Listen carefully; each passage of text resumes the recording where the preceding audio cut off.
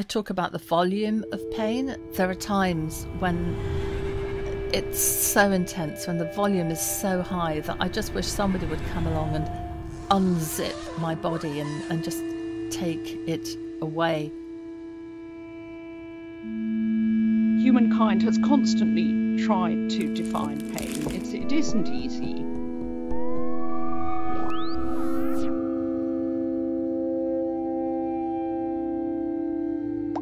Most of the pains that we feel are day to day and they do resolve. They're part of our body's protection, making us rest and protect the area and make sure it doesn't get infected if it's a wound. And so day to day pain may be kind of annoying, but it, it is really important. A life without pain would be very dangerous and life threatening.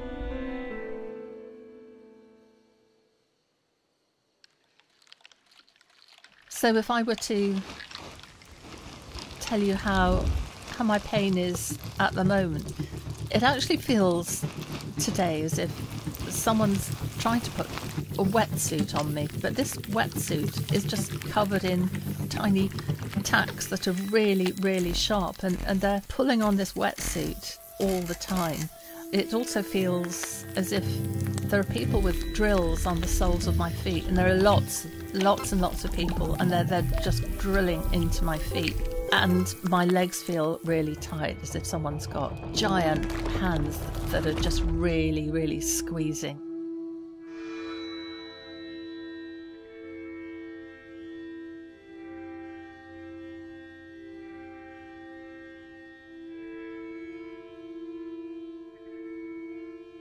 So, neuropathic pain is really intense. It's experienced as almost real events, like being pinched and squeezed, very severe, what feel like electrical pulses. And clinical experts in pain are able to right away identify neuropathic pain because of these awful descriptors. The last kind of pain, the third kind of pain, is really the mystery, and that is the existence of pain for which there is no obvious origin. So that does not in any way mean that it isn't real. It's 100% real. It's just that our understanding of our bodies is limited at the moment, and you can't find an injury. So we're left with a, a, population of people who are really suffering from pain and it interferes with their life but we don't understand where it comes from.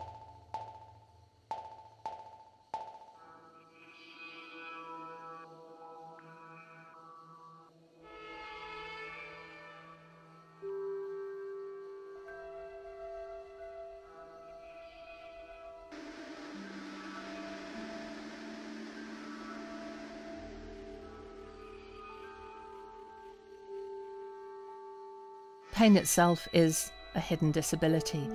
And I think it's really difficult to get that across because you can't see somebody else's pain.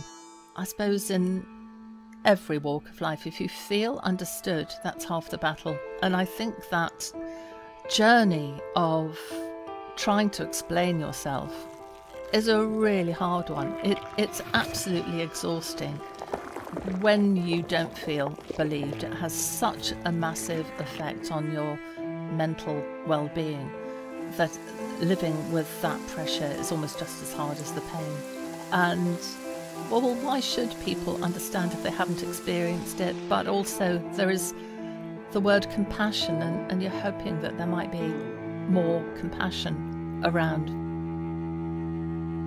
I think the outstanding mystery is why is it that a substantial number of our population are suffering from pain without any obvious biological purpose?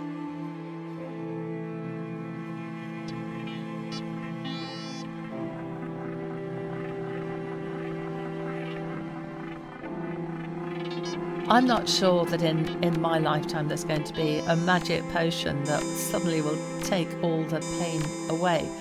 But I think the more that we all talk about it, that's where I feel hopeful. That's where I can do my little bit. That's the optimistic bit. As for where all the nails and the screwdrivers and the drills in my feet will go, I don't know, but I have to believe that I will find my way forward